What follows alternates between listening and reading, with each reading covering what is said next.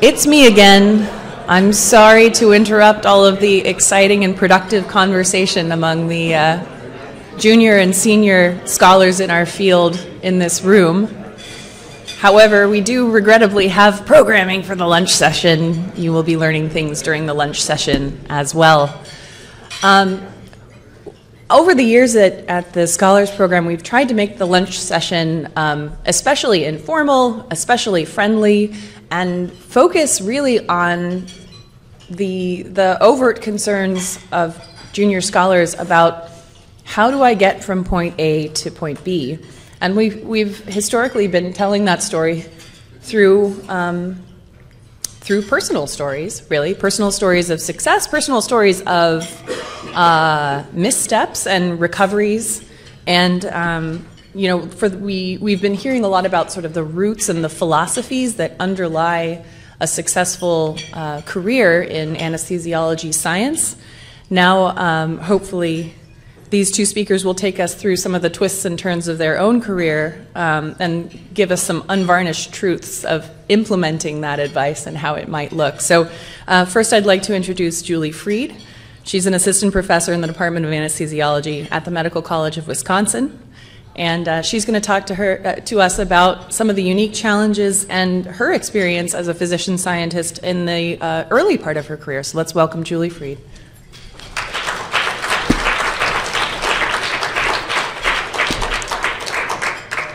All right, Liz. Well, thank you very much for that introduction, and uh, hello, everyone. I hope you're having a great day so far. I personally think this is the most important day for our specialty, right? Because we're focusing on you. We're focusing on the future innovators in our specialty. And whether that's in basic science, clinical research, translational research, outcomes, quality improvement, education, whatever it is, right? Hopefully, we're all going to be moving our specialty forward. But as you can pretty much heard from this morning, that's a difficult career to have. And there's a lot of roadblocks and kind of situations and issues you might run into along the way that you have to overcome. And that's kind of been actually a theme already this morning. So what I'm going to do is kind of talk to you about, you know, I've been doing this for nine months now, so I have a, you know, great experience as a faculty member. But I can tell you about some of the things that I've had to deal with already, and, and it's okay. Uh, so I know this is a little bit of a cliche, right? I have a picture up here of a woman about to start the 100 meter high hurdle race but it's true, right? Again, we're always trying to, you know, attack the next problem, overcome obstacles, and this really means a lot to me because I was a hurdler. I ran for the University of Minnesota, and I feel like the hurdles I'm running into today are a little bit more challenging than what I did in college.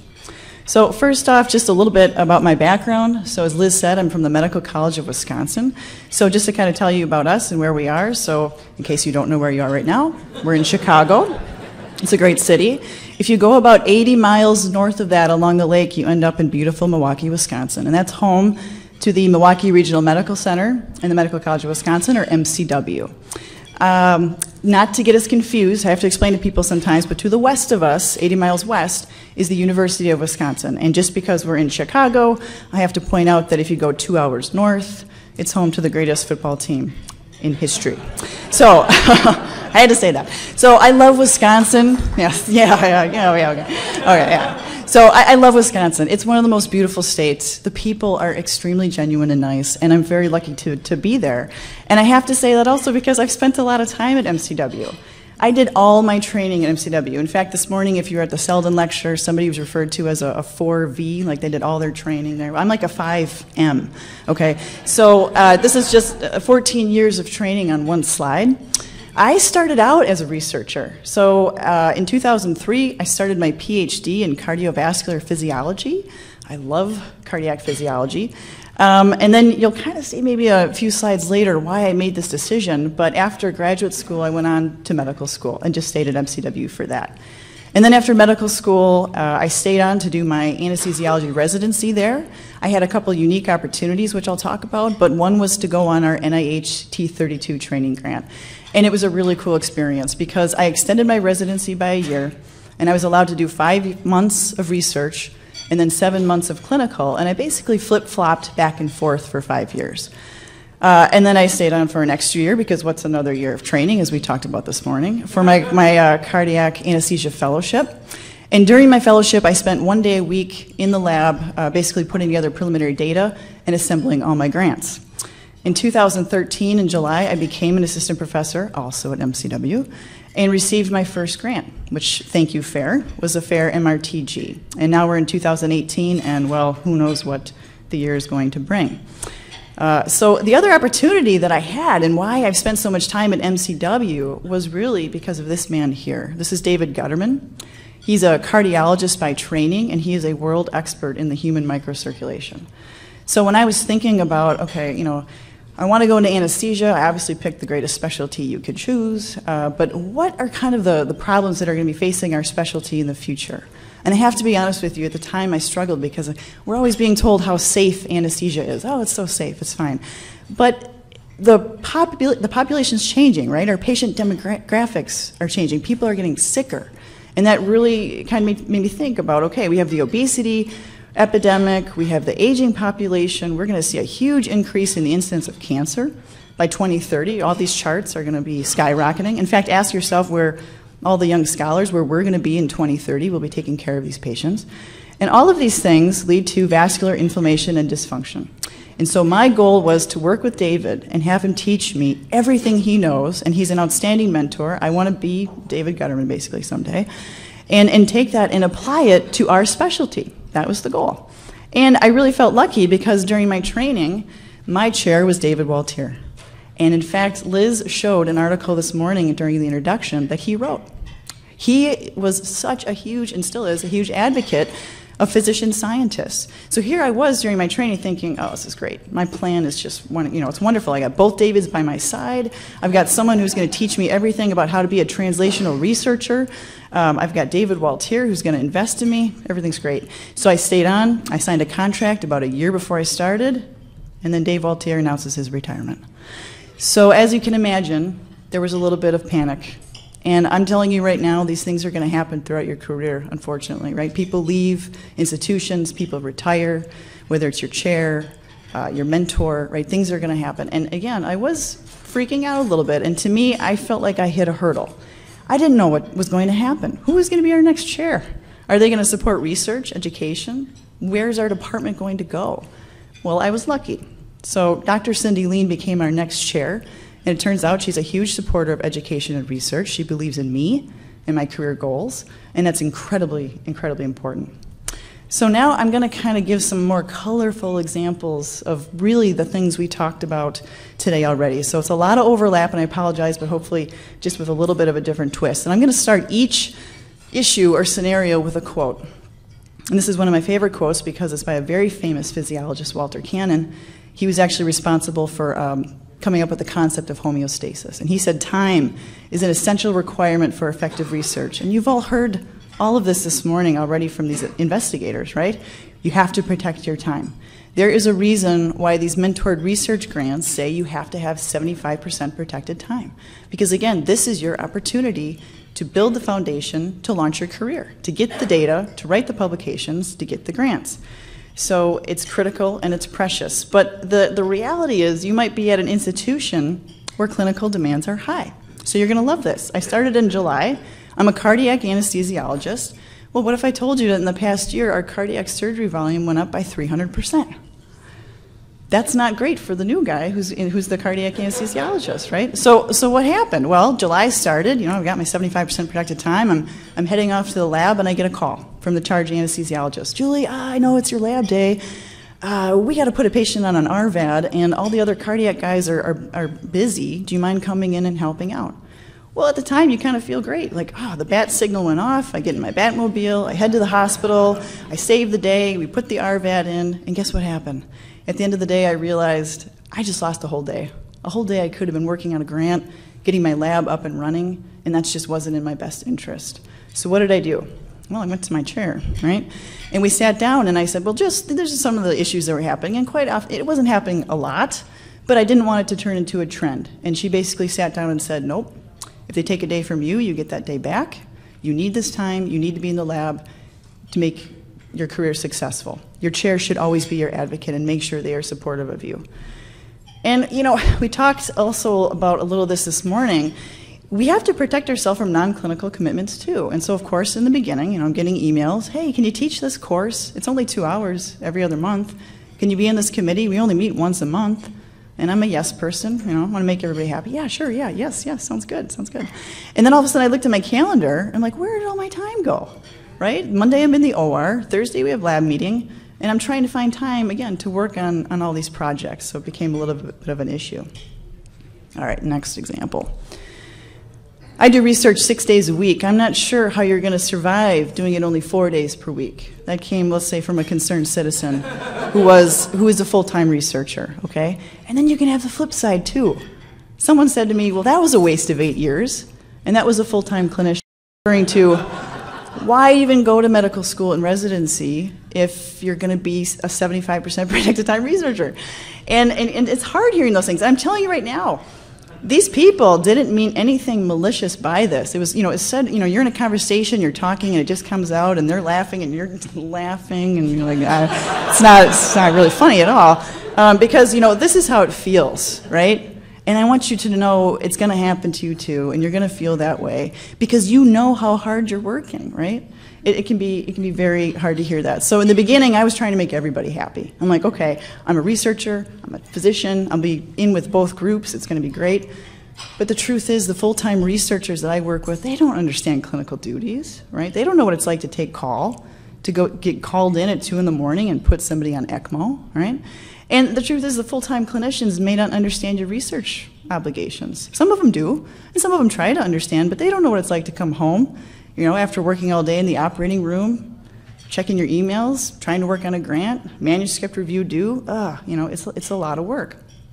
So one of the things I've done is I've taken opportunities to actually present my work to the department, and I don't mean giving a data talk, right? I love talking about data in my research, but I actually spend, you know, one time a year at our grand rounds and kind of talk to them about, hey, this is what I'm doing with all this time. And I was really surprised at the response that I got the next day, you know, from my colleagues. I didn't know you were doing that. That's really cool. It really helps. But at the end of the day, you also have to find your people, and my people are in this room, right? So you have to branch out, you have to network. That's where ESAS, I think, has been huge for me. It can be huge for you. That's my plug for ESAS. But it's true, right? You might be at an institution where there aren't a lot of physician scientists, right? And people don't understand the kind of issues you're dealing with. And you don't want to be isolated out on an island because next thing you know, you're going to have all these thoughts like, oh, I can't do this, and then you give up. And we don't want you to give up, right? It's very critical that you move on. So at the end of the day, I just kind of cross it out and say, you know what, I can't make everybody happy. We try. Again, tell people what you're doing, explain your work, but at the end of the day, you have to just keep going. Okay, here's a good quote. I submitted the SF 424, but still need the FOA from the RFA. Something about indirect, something about cost sharing. I don't know. Uh, that came from my helpful budget person. So, see, we're all laughing because we all know, right? Um, this, uh, we have a, just a wonderful budget person in our department, and when I first started out, I was submitting all these grants, and I gotta, I gotta tell you, this is how I felt. Okay, so this person didn't hit a hurdle, they just collapsed. It was actually a really sad story. And, and there were days in the beginning where I just wanted to collapse because I'm like, I'm a science person. I'm not a budget finance person. I don't have an MBA. And they're giving me you know, budget reports. I'm like, oh, I'll do this. But we, we all know it's part of running a lab, right, or doing your research. And so it, it's, it can be hard. We have to be really good multitaskers. And after all that training, right, I showed you all the 14 years of training, sometimes I feel like I've really only just begun and I have a lot left to learn. You have to be okay, obviously, juggling multiple things on a daily basis. One morning I was driving to the hospital. Again, I'm a cardiac anesthesiologist. I got a big cardiac case going on. I'm pretty excited to do it residents nervous. It's their first cardiac case, which makes me nervous.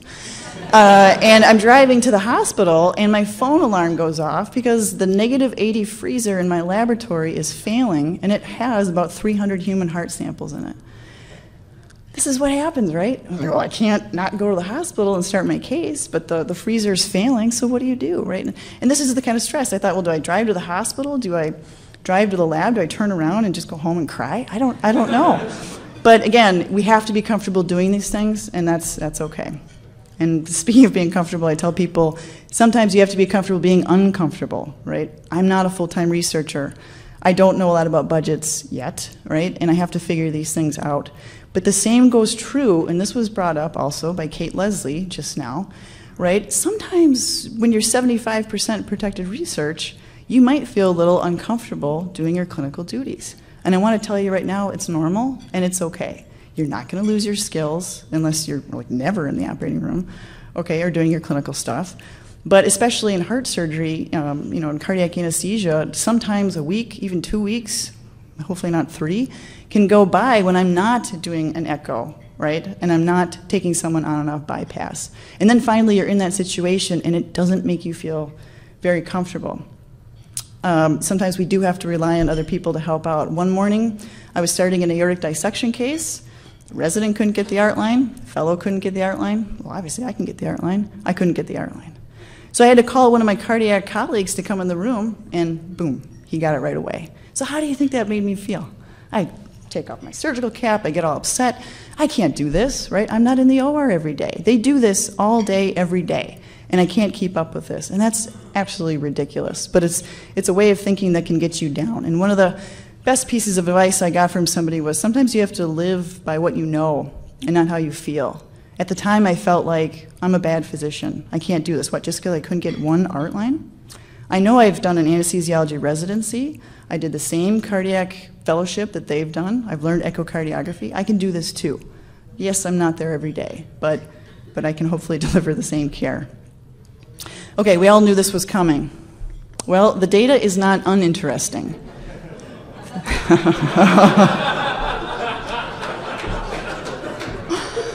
Thank you, reviewer number two. okay. I, uh, I can't even take credit for this. This was uh, a collaborator of mine, um, but we were working together on this project. It hurts, doesn't it? I mean, you know, you see this, and we were not laughing at the time, but we laugh about it now. You know, um, and that's how it feels, right? So, and we've all been there, and that's why everybody again laughs because we've we've all had this kind of critique. But the sooner you realize that rejection is just part of our jobs, and you could even say failure, right? I'm a lab person. Half the time experiments don't work. We submit publications, we get feedback, critiques, reviews, grants get triaged. It's just part of the process, right? But you just have to keep going. I always tell people that one of my biggest fears is the NIH budget for some reason. I just, I just always get worried about what's going to happen. Um, but I think it's because of what's shown here in this graph. So this is the NIH budget in billions of dollars from 1965 to 2010. And as you can see over time, the NIH budget, of course, has gone up. But we hit a huge spike in the NIH budget in the late 90s, and that's when I was thinking about going to graduate school.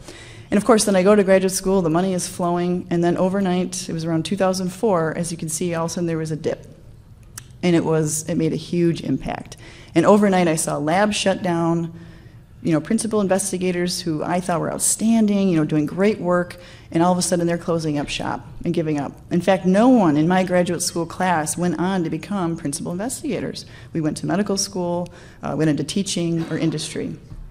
This is another sobering graph, right? So this is the NIH grant application success rate from 1978 to 2013. And yeah, there, there's highs and lows, but really, for the most part, you know what the trend is, right? This is incredibly difficult what we do. And again, there's a lot of overlap. This was already said this morning, but we just have to keep trying. Okay, one of my personal favorites. Research, medicine, family. You can have two out of the three, but you can't have all three. And that was said to me around 2006. I remember it because that's when I decided to go to medical school. And I'm going to get real personal now. At the time, it didn't bother me. Uh, my husband was a busy trial attorney. I wanted to have this research medicine career. We had no intention of having children. We just weren't interested in doing it. And then 10 years later, in 2016, I became a geriatric mom. So I'm not trying to say here that having a child is like hitting a hurdle. It's one of the best things you can do. It's one of the best decisions I ever made. But what this person said stuck with me, obviously, for 10 years right? And at the time when I found out I was going to be a mom, I thought, how am I going to do all this? Right? Uh, how am I going to be a researcher, be a physician, be someone's mom, be a wife? You know, can I do it all? And the answer is yes, you can. In fact, don't ever let anybody tell you that you can't do these things, right? It's just that life is one big balancing act, and I think we all know that, right? And when I think of the life balancing act, I'm a physiologist, I think about the U shaped curve, right? And what I'm referring to is, is Walter Cannon's concept of homeostasis, right? We're constantly trying to stay home in this sweet spot. Everything we live in this, this physiological range. And you can put anything down here in quantity, with some exceptions, right? Heart rate, blood pressure, temperature, pH. You go outside, a little too much is bad. You go a little low, that's bad as well. We have to stay right here. And you can replace quantity with you know, anything, like clinical versus research time. And I got to be honest, there's days where, you know, I, my call is all clustered together. I'm in the operating room a lot. Inside, I don't feel so good because I know I need to be working on a grant or getting something submitted. Same goes true. There are days where I'm sitting in my office staring at the same AIMS page for hours, and I say, I've got to get out of here, and I need to go to the cardiac room and do a case, right? And you can also, of course, change this with work and family or work and life, right? Not to say that too much family time is bad, sometimes it is, but, you know, but we have to get our work done too. And then, of course, if you find yourself working so much and inside, you have to listen to your body. If you're missing your spouse, your partner, your kids, just listen to yourself, pump the brakes, and come back home. So, I don't know if you figured it out, but I showed a lot of images of people hitting hurdles here in this talk. But what I didn't tell you is that all of these falls happened during the Olympic Games. So, all of these athletes, these are trained athletes who train for four years. They're experts in coming over obstacles and even they hit hurdles and they fall, and it's absolutely devastating. And this is just to point out, and I guess I don't even need to say it because we talked about it this morning, right? You've heard from experts in our field saying they've hit hurdles, they've had obstacles. People are going to pack up their equipment, you know, and, and do what they need to do, right? And that's why they're where they are, right? Because they, they hit these things head on and they were able to, able to overcome them. This is not all doom and gloom, right? If you keep working hard, you will achieve success right? You'll get there, you'll get the paper published, you'll get the grant, you'll get the promotion, and you should celebrate it, right? I mean, it's, it's, it's a great feeling, but the truth is, all these feelings are temporary. And we need to go on to find our next challenge, right? And whether that's your next project, your next grant, whatever it is, you have to go after it. So celebrate, enjoy it, but find your next challenge. So, this is my last quote. The, the most rewarding things you do in life are often the ones that look like they cannot be done. And that, I've totally switched sports on you, actually came from Arnold Palmer. There are days when I get in the car and I drive home and I say, I can't believe I'm doing this. Like, why am I doing this? This is nuts. But I will, I'm totally honest. Most days I get in the car and drive home and say, I can't believe I get to do this. When you think about the kind of job and career that we have, right? I get to go in the OR do these cool cases, go to the lab, ask some questions, write some grants. It's, it's just the most rewarding and wonderful career you can have. And if you have kind of doubts about that, or you have days where you're like, what, what am I doing all this for? Just take a step back and look at the big picture. And that's kind of what I did when I put together this talk. I have a lab. I have an amazing research tech, Mary. She's a pleasure to work with. She keeps things going throughout the day when I'm not there. I have an outstanding mentor. Again, I hope I'm half the scientist that David Gutterman is. I have a supportive chair, right? She supports me, she protects my time, she's going to give me a big raise. All right, I shouldn't say that last part. That's fine. Um, I get to work with fun residents, right? When I'm in the operating room, they keep me on my toes, right? Because usually they're screwing up. No, it's fine. Uh, I I get to mentor, and we already talked about that this morning too. I get to mentor people. Kelsey Walters is a medical student in my lab. We're very fortunate to work with her. She's here actually presenting at this meeting, and it's just a lot of fun. Again, I get to meet cool people along the way, all the ESAS people, people who are doing what I'm doing, who know what the struggles are like. It's great. And I have wonderful clinical colleagues. Yeah, they don't understand what I'm doing most of the time in the lab, but that's okay. And, uh, and they're just a lot of fun to be with. And most importantly, at the end of the day, I get to come home and hang out with these guys. So I wish you all the success. I hope your, your, your papers get published. I hope you get your grants. I hope you get your promotions, whatever it is. Um, but at the end of the day, what I really wish for you is that you're surrounded by the people that all make it worthwhile. Thank you.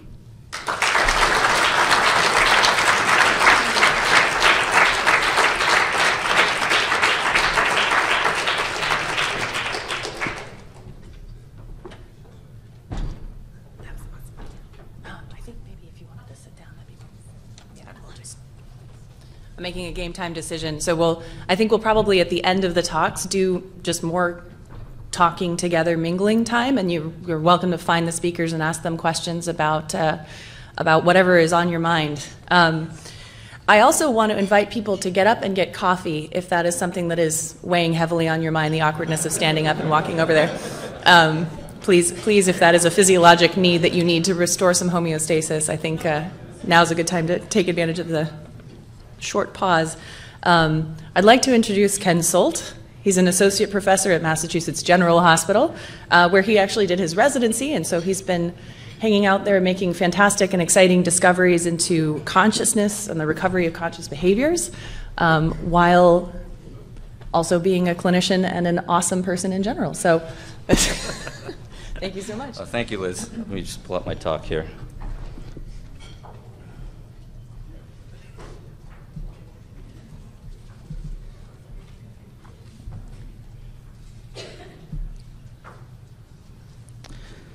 So, um, so thanks, Liz. And um, I, you know, I think Julie gave a fantastic talk. Uh, I think uh, many of the take-home messages that um, she gave are going to be similar to what I have to say.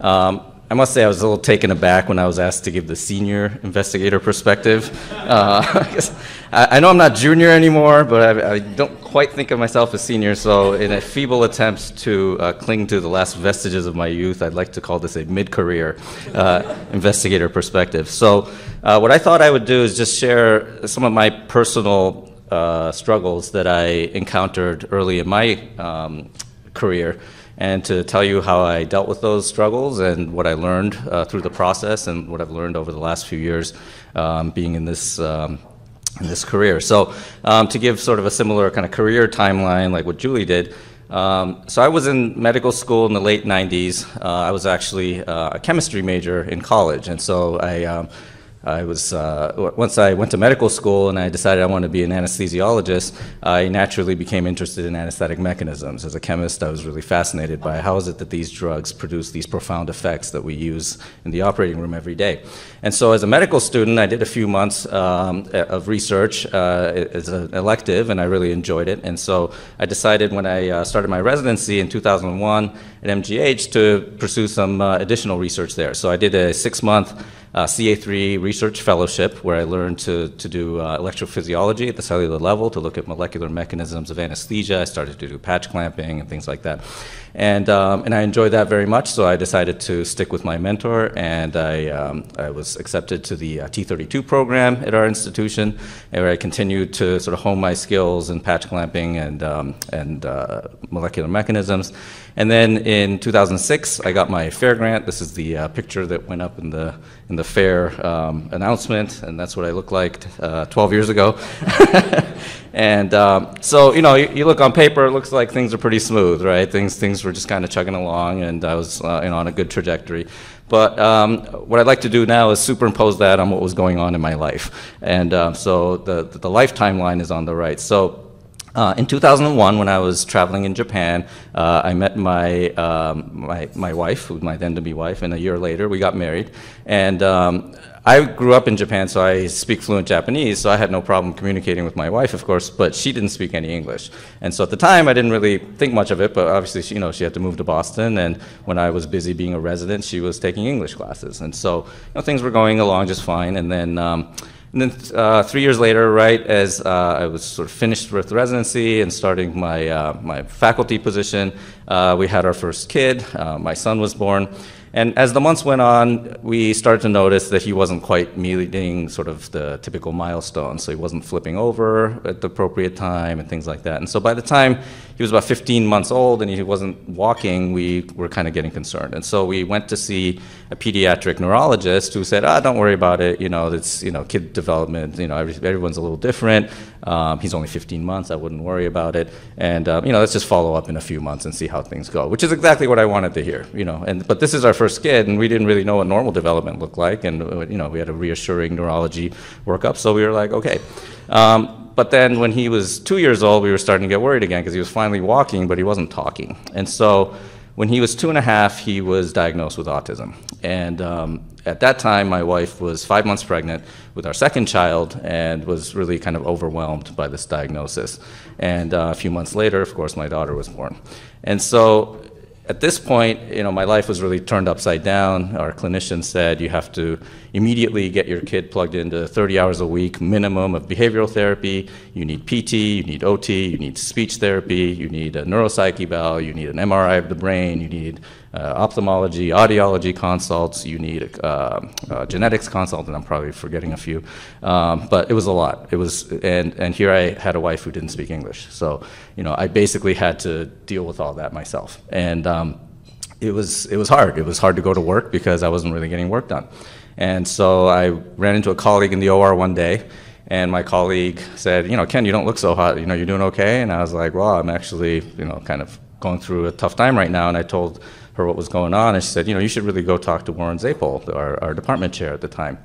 And it hadn't even occurred to me to go talk to my chair. Like it was just one of these things. It was like, here's, you know, I'm just dealing with my problems, right?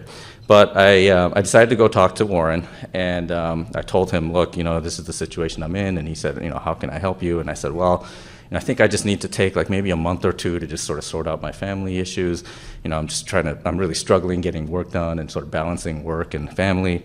And I'll never forget what he told me. He said, um, Ken, I would question you as a human being if you were trying to get work done right now. And this really kind of hit home. And he said, um, you know, right now you need to take care of your family. And he said, you know, in two months your wife's going to be seven months pregnant. Now, then what are you going to do? You're still going to be totally stressed out, and you know, you need to, you know, go home, take care of your family. You know, go take six months off. And I was like, well, you know, I, I can't afford that. I, just, I, I can only take maybe one or two.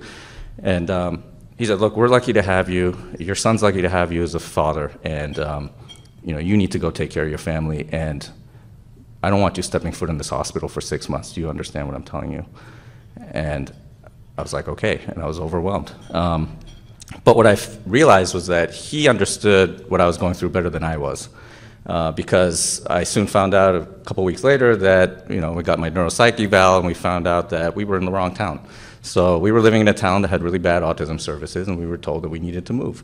And so we got the diagnosis in November, and we moved to a different town in January. So we had to buy a new house, move into the new house, get him set up in the new school system, and um, I needed that time to just get through all that and to figure it out. And my wife was eight months pregnant when we moved, so and it was winter in Boston, so it wasn't a fun time to move. um, so amazingly, it all kind of fell into place at that point. But I needed that time, and and my chair was extremely supportive and helped me through this. And one of the things that I learned through this process, and it seems so obvious, but you know, put your family first. When when your family needs you, the work is irrelevant. You know, you got to take care of your family before you take care of your work. You could have 10, 15 R01s, it doesn't matter. If your home life's falling apart, who cares? It, it doesn't matter. And conversely, if you are struggling at work, who's going to support you? It's going to be your family, right? And if your family's falling apart, nothing's, nothing matters. And so, you know, people talk about balancing all these things, but if, if things are really falling apart at home, you got to take care of that. And that's really something that seemed obvious, but even I at the time was, was trying to figure out how to get work done, right? And so was one of these things where he just kind of crystallized for me that when these kind of things happen, you got to take care of your family. And so these are what my kids look like now. Um, my son's uh, 13, my daughter's 10. Um, unfortunately, my son remains severely autistic. He's nonverbal. He, you know, has severe limitations in both gross and fine motor skills. He can't talk. He, you know, can't even open a door, and uh, I mean, you know, he's really struggling. So, you know, this wasn't a temporary problem. This is going to be a lifelong struggle for us. Um, but at a time when I really needed help, he, he supported me through it, and I learned a lot from that. And my daughter is, you know, more or less neurotypical. That's sort of the new word for normal. Um, and um, she, uh, you know, but she actually has ADD. And we were told that when you have an autistic kid, you have a 50% chance that your subsequent kids are going to have a learning disability and 10% chance that they have autism. So luckily she doesn't have autism, but that's the situation that, that we're in. Um, but what I really learned through this whole process is really the importance of communication, you know, the, the, and just being honest about what's going on in your life and not internalizing it. You know, talk to your mentor, talk to your chair about what's going on in your life. Don't just talk about science. You know, if, you if your life's falling apart, you got to talk to them about that and let them know. There may be help, um, you know, we're in places where you didn't even think they were there. And, you know, what my chair did for me may not be, you know, I mean, big disclaimer this is my story you know everybody's different everybody has different chairs everyone has different stories but everybody has their struggles. And um, you know i think as a specialty, we're really trained to absorb stress and internalize stress, right? And we we're, we're taught to, you know, to tough it out. I mean, when I was an intern, there was no 80-hour work week. Max and I were actually interns together in the same hospital, so he knows what those ICU months were like. You know, Q3, 36-hour shifts. Um, it was tough, and the last thing you did was complain about it. And you know, here we are, we're sleep deprived, we're not taking good care of ourselves. You know, we do so much to sacrifice our own lives for our patients. And so we're really sort of trained to not ask for help. And that's why I think early in residency we're taught, hey, when things aren't going well, ask for help. Because it's not an instinct that we have. It's something that actually goes against what we've been trained to do. Um, and I think, you know, along these lines, I just think that overall it's really important to have regular meetings with your mentor. You know, schedule regular meetings. Make sure those meetings happen. Make sure you guys are talking to each other and that you're on the same page and that you understand what's going on. Um, so that you know, if, if these things come up, that, that they're, on, you know, they're on your side. And so at this point, you know, I took six months off. I got my kids settled. I was moved. I moved to a new town. I had our second child. Things were kind of getting settled. I came back to work, and then I kind of hit the, the next kind of crisis at this stage, which was that when I came back, my, my mentor uh, didn't have funding anymore. And so he had hit a funding gap during my uh, six month uh, leave of absence. And um, I had a new chair as well, so similar to so Julie's story. So, um, so Warren was had, had stepped down, and we had a new chair, Jeanine uh, Wiener Kronish, who was extremely supportive and uh, basically said, you know, if your mentor doesn't have an R, you're not going to get a K, and this is just the reality of the NIH. You need to start over and find a new mentor. So this was kind of overwhelming to me coming back from my leave. Suddenly I got to basically rethink everything that I've been doing. And, you know, I, I, had some moments where I was like, maybe this just isn't worth it. Maybe I should just hang it up. And, you know, I didn't have a PhD, you probably saw in the first, you know, I, I had kind of gotten into research through sort of a, you know, just based on interest really in my background. Um, I didn't have a, a, ton of training and I just felt like maybe this is, this is it for me, you know. But um, Jeanine gave me time, and so when my FAER grant ran out, she said, "Look, I know you've been productive. You know, you're you're um, you know a valuable member of this department. I know you're going to do well. So you know, I'm going to give you time to you know find a new mentor and figure out what you want to do next." And so um, I talked to some people in the department, and I uh, decided to start working with uh, a new mentor, um, Emery Brown. And the reason why I started working with him is because we had similar interests. So I was interested in anesthetic mechanisms, he was interested in anesthetic mechanisms, but I was sort of studying it from a molecular sort of approach, and he was more interested in neural circuits and uh, systems neuroscience. These are things I knew nothing about. I have no background in neuroscience. I never did animal research. Um, you know, I had never written an IACUC protocol. I mean, this was all completely new to me. I had knew barely anything about EEG. Um, and so a colleague in my lab, uh, his name's Joe Cotten, he, uh, he was doing animal research in our lab. And so he basically kind of took me under his wing, put me on his animal protocol, and said, hey, you know, let's make this happen. And so he really kind of helped me to, to kind of get, get restarted and to, to take my research in a new direction. And um, so, you know, the, the things that I kind of took away from this is that you know, you want to choose your, your mentor wisely. Um, I think there are pros and cons of having relatively junior versus relatively senior um, mentors. Um, this is for people who notice. This is from Indiana Jones, where he has to pick which one is the uh, Holy Grail, and um, it turns out it's like the least ornate cup. It's that one in the middle. Um, so, you know, the flashiest may not be necessarily the best, um, but a good mentor will give you time, and I think that's really important. And sometimes, you know, the most senior, most, you know, people are really busy, you know, the rock stars. They're, they're you know, sometimes they don't have enough time to give you when you're really junior. And so sometimes it's good to have two mentors, maybe somebody who's junior and somebody who's senior, so you can kind of get the best of both worlds. But, you know, ha have, think outside the box and sort of put together a team that works for you. Um, but you really want to make sure that you have a good relationship with your mentor, that you have somebody who understands your personal struggles, uh, who gives you plenty of time. Uh, someone who takes you to these meetings and introduces you to the colleagues in, the, in your field, the leaders who are, you know, you need to sort of, you know, they need to put a, a face to a name. That's sort of where we are, you know, in, in, this stage of your career. And so, you know, you need somebody like that to kind of, you know, hold your hand and introduce you to people. And also somebody, and this is harder to assess early on, but somebody who will allow you to grow and become independent. And, you know, if, if somebody has a track record of that, like people who've you know gone on to become independent, that's usually a good sign. But these are sort of the things you want to think about. And I'm sure a lot of these themes have come up earlier today, and, and Julie touched upon some of these things I'm going to talk about. But um, but these are the things that I think are really important. you know, I also was really daunted by the fact that I had to learn so many new things um, to sort of take my research in this new direction, you know, animal research, IACUC, all this stuff that I didn't really know. But what I realized is that that's actually what you're supposed to because these are training grants you're applying for. And so, you know, the, the, idea is that you really want to maximize your training. You know, take advantage of this period in your career. You know, take courses to fill the knowledge gaps, you know, the things that you don't know. Attend local research seminars. Visit other labs. If the, you know, if you don't have things locally, you can I spent a month on my K going to UC San Diego from Boston. I spent a month there to learn how to do visual discrimination tasks in, in rodents because nobody in my area was doing that. And so, you know, think outside the box. Again, think about, you know, ways to maximize your training. And you know, if you're a PhD and you basically write a FAER grant or a K saying, you know, I'm going to use this technique that I mastered when I was in graduate school, that's really not going to fly. I mean, you, you want to take this time and this opportunity to learn something new and to train in something new and really put together a good training plan. And so I think that that's something that's really important. Um, I know this has come up a lot, but time management is absolutely critical. Um, you know, I think that you know, like what Ju- Julie was saying earlier, there's this perception um, that you have all the time in the world because you're not in the OR, and just because you don't have to ask for a bathroom break, it doesn't mean you're not busy. You know, it's, it's really like you know you have other things going on, and so you know focus on things that are going to matter to you. You know, think about the cost benefit ratio of everything you're being asked to do because you're going to be asked to do a lot. You know, when you and you know, it sounds obvious, right? Focus on original research papers. But what I mean by that is, you know, if somebody asks you to work with them on, you know, this huge review paper or some big, you know, book chapter that has to be written from scratch.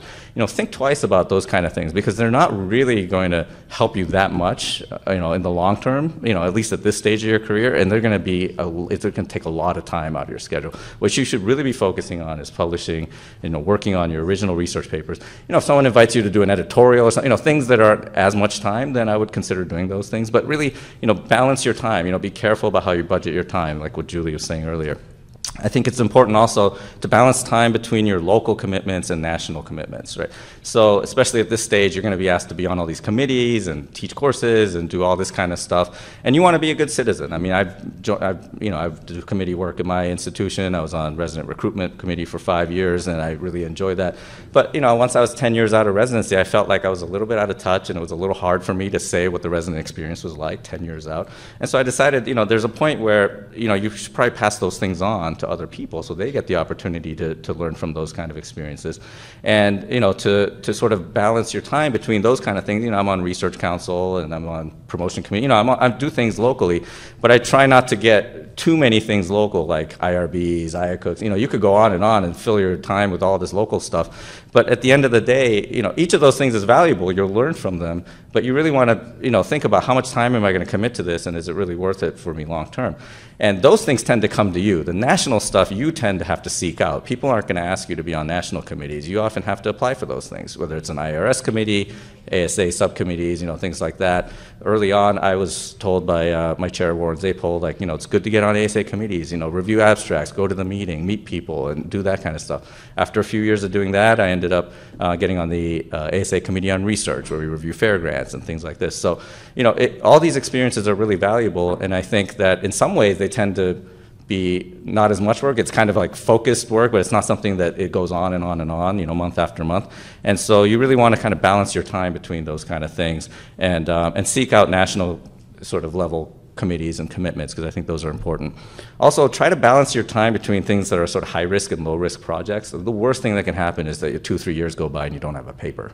And so, you know, it's great to do things that are really cool and, and if it works out, fantastic. But, you know, when I think of a research project, there's really kind of two kinds of projects, right? One where no matter what happens, you can publish it, and one where it either works or it doesn't. And if it doesn't work, you're, you know, you, you don't have a result. And so, you know, it, those kind of projects tend to be higher impact when they work, but they also put you in a hole if they don't. And so you kind of want to have a diversified portfolio. It's just like stocks. You kind of want to have different levels of acuity of your projects to make sure that you at least have you know, uh, some production coming out of your lab, and even if they're not earth-shattering papers, at least you, you show productivity.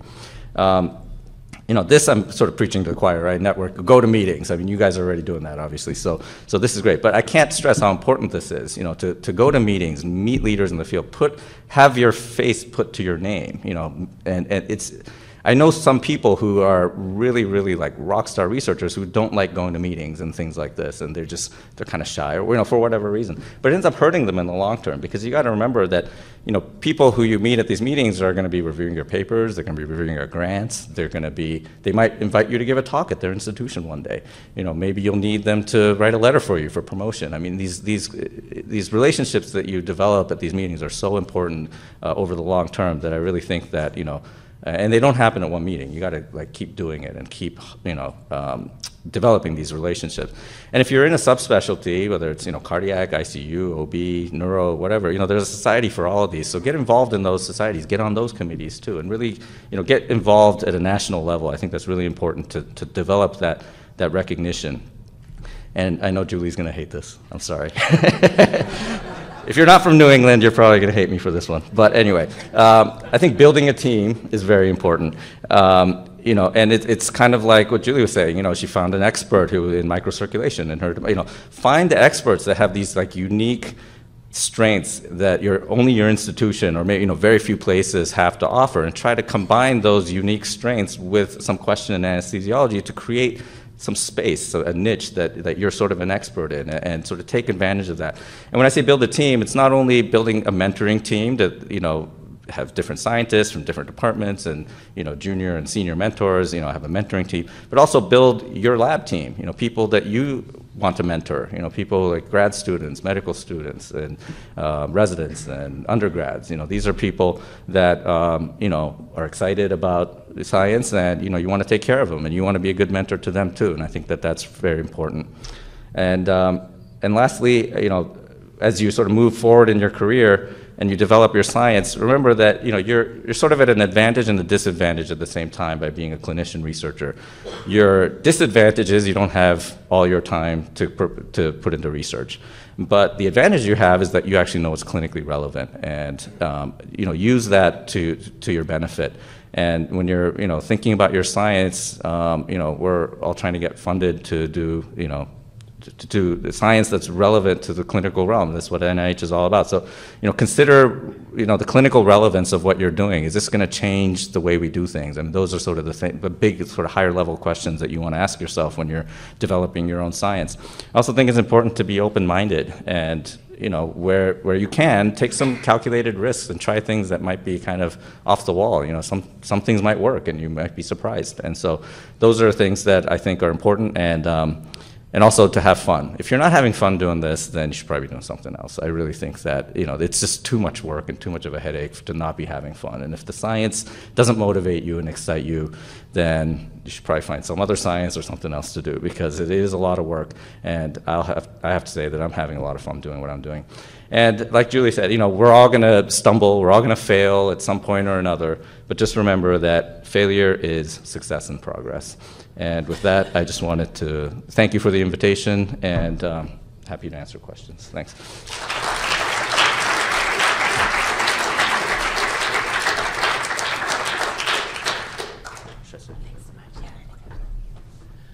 So that's um, that's the that's kind of the conclusion of the programming formally for the lunch session. But I hope you guys will um, will chat with the speakers uh, we have uh, another actually 20 minutes left in the session. Technically, our next programming starts at 2:15.